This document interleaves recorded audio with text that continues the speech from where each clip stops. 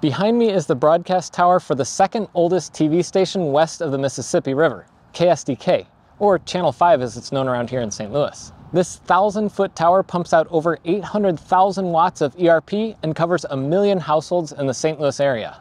And right next to it, there's a driving range called Tower Tee, a place where I and many other St. Louis kids hit their first golf ball. I'll never be on a PGA Tour broadcast, but I do want to learn more about how one is transmitted Today on Geerling Engineering, my dad and I are exploring what's inside that transmitter building behind me, and just like the megawatt FM tower we explored last year, this tower is home to more than just TV. Uh, yeah, in fact, I have a 250 watt FM station on this tower. Well, we'll have to take a look at that too, but first let's go inside and see how the TV transmitter works. So we're standing in the main transmitter room. This is where the transmitter is, all the feeds come in and everything. Can you explain how does the signal for TV get into this room from the studio? Yeah, so the studio has equipment that kind of packages all the pictures together, all the channels, because they have HD 1, 2, 3, 4, 5, 6, and so on. And puts them into a stream, and at the studio there's two boxes. One is a fiber box, sends it out fiber, and the other is a RF box that sends it out a microwave. Uh, microwave is a 7.5 gigahertz microwave in this rack, the main and a backup unit, auto switching, and then the fiber is down here in this rack they're converted and then put into a switching box so that any one of those feeds can be put into the transmitter exciter. Well, I was here many years ago, and that was a long row of racks and transmitter equipment uh, over there. So they went from analog with a main and a backup uh, to uh, the HD transmitter over in that space that's empty now to their new HD transmitter. This transmitter here is actually two transmitters. Each one do, does everything they need, and they can switch either one on the air or both uh, together mixed. So that's a that's a big difference. They look at the size difference of what a place would take. So so once the signal comes out from either the microwave or fiber, and they process it, send it over. I'm guessing is that all digital nowadays? Oh yeah, 100% IP, and uh, you'll see stuff. You know, it makes you it makes you think about your IP world a lot. That's a lot of packets of data that have to all be right all the time, 24 hours a day, uh, to make the TV station right. And I think I saw in one of the uh, microwave links it said it was like 77 megabits. 77 so megabits, yeah. Pretty, that's pretty big amount of data compared yes. to FM radio, which is what?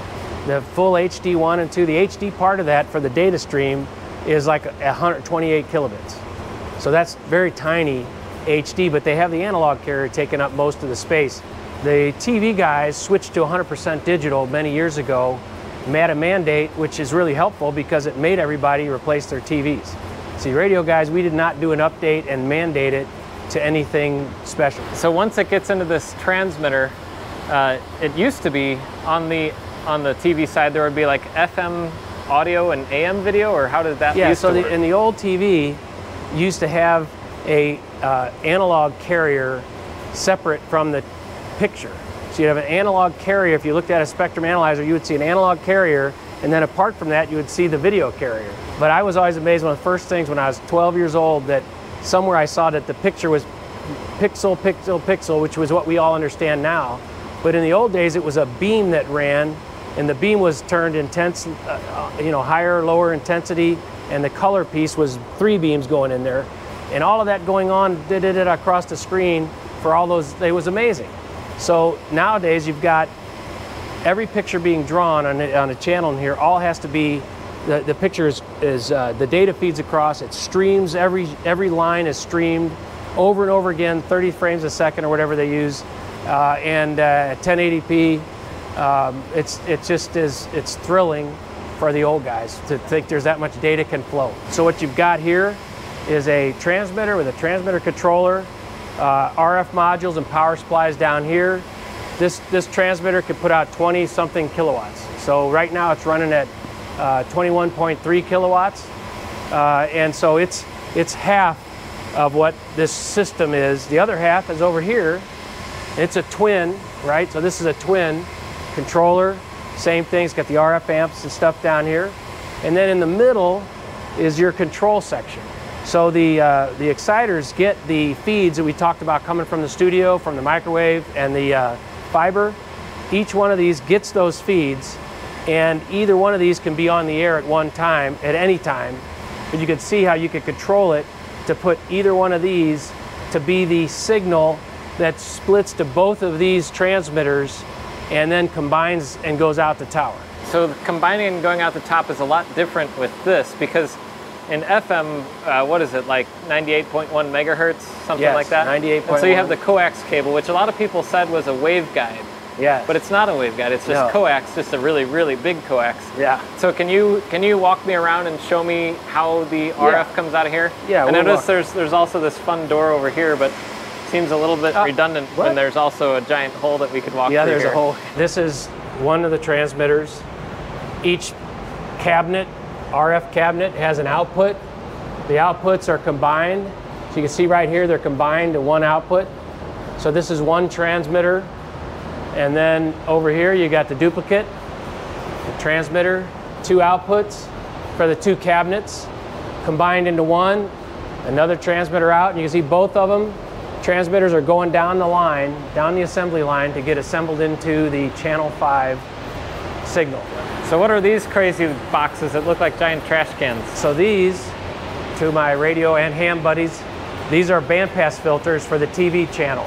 So if they're set, they're going to be bandpassing for 599 megahertz. So this is a filter when you're at 20 kilowatts and filtering uh, bandpass filter for for the 599 megahertz. You can see each one has its own, you know, in and its own out. The outputs go up into this crazy looking giant, it looks like an AC duct, but that is not what it is. Can you tell me what this thing is? So this is a waveguide where you could see each each one of these goes into a different channel here and they go through the waveguide. They're going all the way through here, staying separate, right? Waveguides all the way here. Waveguide all the way to here. And now you're going out to the tower that way and you're going to a load over here, which again, hopefully it does not have much heat in it. Everything wants to go out. And so you're going out to this spot here, and then you can see there's a black box at the end and coax coming out. So they are literally taking coax up the tower. So they're converting from waveguide to coax. So you're saying that that feed line that's way back there, which looks tiny in this picture right now, but I guarantee that Oh, thing is it's huge. Yes, it is. It's uh, it's about as big as the last ones were in your uh, combining room at the FM Yes, tower. it is. But then it goes up the tower on the FM in two pipes that are all Yes. four inch or Yes, something. like it splits back out of the FM and goes up as you know half the power going up each pipe. You got that guy going up, and then I see just like on the FM tower, there's also nitrogen here, Yes, uh-huh. providing pressure to that line to that- prevent arcing. Keep that line pressurized. Uh, don't let the water leak in. Make sure there's pressure so any moisture goes out. Because moisture causes arcs, and arcs Moisture cause causes arc and arc causes burns and smoke inside the thing. Yeah. So another thing that I saw on this transmitter is all these pipes, which I remember from the FM station were water cooling. And I noticed over here it's actually not as loud as it was Yes. at the FM station. Can you explain to me how this water cooling system is different than the FM one? Or Well, the same? It, it's very much the same. Uh, you see the water that each each box, each transmitting uh, section has a water in and a water out, and you can see it goes across there. So you're going to have eight pipes. They go back to pumps, just like we had in the FMs. They pump through. The pumps are, you know, there's two uh, redundancy, a lot of redundancy in the pumps. The pumps shoot them out to a heat exchanger outside and the heat exchanger fan blades are controlled by the pump. So as you can see, we got the pumps, redundant pumps, control for the pumps. You've got these uh, meters here, tells you the fan speed, and this one tells you which pump is on. And you got your meters, tell your water pressure. Your supply pump is always going to be higher pressure than your return water. Very similar to the FM, slightly different, but very similar. basically just a giant water cooling loop. Just Yes. like you'd see it like in a PC if you had water cooling with Yes, a radiator and exactly a fan on the it. same thing. Except it's just scaled Only- up quite a bit with Yeah. redundancy built in. Yes. If you have a really big PC, we have an extra one. No, this one is actually for the load, which also has to be cooled, and they they uh, do that with. Uh, So the, the actual dummy load here is water cooled yes, yes, because it exactly. produces that much heat. It can. Yes, you're testing. Uh, you're definitely going to get heat. Another thing that I, I saw immediately is somebody who's studying for a uh, amateur radio license. There's a little rack of these these uh, receivers over Oh, here yeah. that's Yes. connected to this computer. Yeah. Do you know uh, Do you know what they're doing with these things? Yeah, so these are, this is a great tower, great location to receive.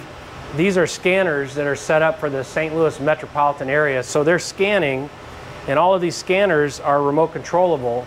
So they are brought into the software, and then they're available to the newsroom uh, downtown at the uh, studio. There's uh, the oldest HD TV, CRT TV that apparently weighs as much as like a truck. This was one of those, you know, I got a deal for you. Uh, your HD station, you need to monitor it. Let's uh, let's make a deal. Uh, but the fantastic thing is that that's a beam. So that beam is shooting out from the back there, and it's being diverted and run like this. You know those signals and color. I mean, I just it's I love that stuff. But it's it's fascinating. But this is the only HD TV I've ever seen that has a tube. So I don't know how many of you guys have seen I, I one. saw one or two before, but they were all 720p. I heard that uh, the reason this one is so unique is it's one of the few that was 1080p Yep. CRT, which is such a rare thing to see. Yeah. Yeah. and a Sony. And a. Sony. This is the transfer switch for the generator. A little bit bigger than we had in our FM uh, site for sure. It certainly could fit two people in there, a phone booth. Those are some big wires. So Do not touch. do not touch. So this is the building power coming in. Yep. Yeah, so you've got a lot of thick wiring here. This is the whole deal right And that here. goes to the transfer switch. Yeah. It's all transfer 480. switch goes to another power distribution. Yep. And that comes over and they, you know, for RF signals, they have to do a lot of filtering too. I know Yes. there's some extra filtering equipment here that you might not have in like a general. Yeah, they do. They, and what's funny is uh, a box like this is a small box compared to the old school ones from 25, 30 years ago, but it also does a better job. So it's kind of interesting how you can get, you know, better filtering for your power on a smaller box. And you can see the, the old one is out here. Um, the old one right here, it also has RF filtering in it. And so for that reason, it's still in line actually here. I see there's some other power equipment here. There's, I, that's funny. I see More uh, distribution? VHF and UHF. Yeah, that's so crazy. I would imagine is the VHF was that for their old transmitter probably? Uh, probably that would be the, uh, or that could have been for radios. I don't know. That's Oh, yeah. a pretty big breaker, 200 amps. Yeah. that would be big for Up uh, there, 800 radios. amp transmitter. Yeah. Seeing it says UHF panel, but UHF, uh, we do that stuff. You know, sometimes history uh, helps correct it. And then I saw there was also this guy here, which is Yeah, so this is a voltage regulator. It's kind of interesting. It's another layer of keeping your voltage within a certain range. And, and uh, tube transmitters, which they used to have a big giant one, the tubes were this tall, uh, but the tube transmitters, you really wanted to keep the filament voltages controlled, keep that tube life up. But I saw that this one even said it was a Yes, microprocessor this one- controller. yeah, as opposed to the one at your house, maybe. this one is microprocessor controlled. Yep. That's then, old school language there. And then more power distribution over here. Right, yep. Going to it looks like the two transmitters, and then a control cabinet that's off. That must have been the old transmitter, Yeah, the old, yeah. the old analog or Yeah, the old, digital one. Old school sticker, new school sticker. Yeah. Look at that. And then also to the uh, pumps and heat exchangers. Another way that they can get video and data into this building is through a dish like this. They have two of these dishes, but this one looks really cool on the backside. It looks like there's a motor down there. This one is like motor controlled. That is a motor. He could tune in about any satellite here, and of course they're locked in. They're an NBC affiliate, so they're locked in right now on NBC. Uh, but they have, if you look over there, they have KU band and C band, uh, horizontal and vertical. That's why you got four wires out there and stuff like that. So this is a cool dish. Any engineer would love to have this dish at his tower site or at a studio. It's a great dish. So you mentioned inside the building, uh, we had the power in, coming into the building here, but also there's the giant generator. Yeah. This thing does look like it's a little bit bigger than the uh, the one at the FM site. Yeah, I was gonna say it's a two full-size door deal here. So you got, you know, two doors on each side for maintenance. Uh, it's a big one. And if we look back here through here, you can also see those the uh, heat exchangers back there Yep. for the uh, water cooling. So this was to the original transmitter uh, that I think they developed something like 35 to 40 kilovolts, and these are the transformers that take the 480 and make it. And I believe the high voltage came out here. I think. Uh, right here, but it would be you know like 40,000, 35, 40,000 volts coming out of the side, and it is dead. I'm, I've tested that. So inside the building, we saw that line coming up through the roof, and it was copper inside. Is this still copper here? That is still that's called weathered copper. And you, you said that there was also some, uh, a couple like backup FM transmitters in here too? Yeah, so in the back here, you can see the two doors. This little back of the building is uh, two of the FMs. There's a, uh, antennas for them up on the tower, and uh, their cables leave and stay lower. And then they have their generator back there and air conditioner units. You can And see so, right there. so they all come out here and come this way, but then there's also this little extra building right at the base of the Oh, tower. one of my favorite little buildings. Yeah. You know, we have a very good signal here servicing a lot of people. Uh, 250 watts uh, translator in here, and uh, it's it's um, uh, one of our AMs. You can get these translator frequencies at 250 watt ERP, uh, and we got an antenna uh, way up there at 712 feet, 712 and a half to be precise. The main TV feed line is up here and it goes straight up the tower and it that's I'm sure very heavy. And then there's the couple FMs, there's other things coming out of this building. It all goes up. It looks like it's a lot less than the super tower, but there's still probably 30 or 40 cables. But one other thing I noticed in this tower that's a lot different is this little cage in the middle here and there's all these pulleys at the bottom. That is an elevator. So uh, back when these towers were built in the 50s and 60s, a lot of the tall, bigger towers, they'd have an elevator, and they're literally engineers for the stations would be able to jump in there, go grab an antenna, carry it up to the top, and mount it.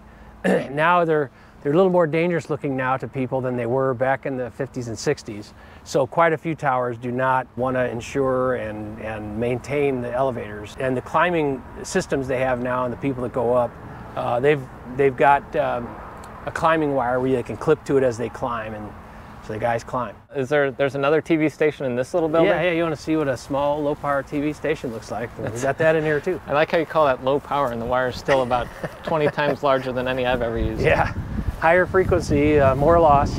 So this used to be a cellular installation, and the cellular guys, everything's built by a spec, so you kind of can see the structural pieces they put in.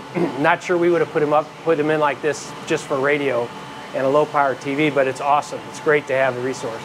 So we have, uh, this is my translator here. It got the uh, monitoring capability, a remote control, audio devices, audio processor, transmitter, UPSs. And I've got two internet uh, feeds. I got a fiber and a cable, and what this underground, that's above ground. This is a TV station right here. So it's fully automated remotely, fed from IP and satellite. So uh, you'll see different, you know, receivers here from satellite, getting different channels. They're modulated and put into the uh, TV, TV transmitter here with the equipment down here. And you see a computer down here. I think they inject uh, things through that computer as needed. And so this whole this whole setup here is like a mini shrunk down version of what was in the other yeah. building. Yeah, this is what's in there. Studios elsewhere, transmitter is here, and it's the equip that equipment that brings in all of the different signals. Again, like we saw at one of the FM sites, this this is the output of this TV system. It goes up, hits, and look at the cables change, the cable size. So they're changing it because the transmitter power, they want to deliver it to the antenna that's probably 600 feet up, and so they only can tolerate so much loss. These are filters because there's a frequency close by at a, a 100,000 watt station close by, and so this is to uh, drain their energy before it hits my transmitter so that I don't suck any of that in on my cable. I mean, literally, we're up both together. She, he's shooting 100,000 watts right into my antenna at a frequency only a few bits off. So it's like uh, we put the filter in to be careful, and you can feel a little warmth on there. It's doing something. So just like the FM Super Tower, this tower has a lot going on. It also has 70 years of radio history, like this strange microwave dish in the ceiling of the transmitter building. They originally had a microwave signal bounced directly off the tower into the transmitter room, but they don't use it anymore. Or those weird bow ties on the antenna at the top. What were they for? And how will this site evolve as more and more people stream TV over IP? Transmitter sites are like living organisms. There are so many stories that we haven't even touched on. If only these walls could talk. Well, they might if this were an AM tower. Hopefully we'll visit one of those soon, so make sure you subscribe.